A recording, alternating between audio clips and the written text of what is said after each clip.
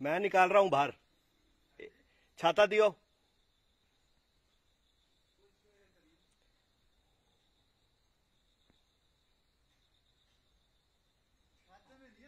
आप भी दे तो सही भाई। एक मिनट।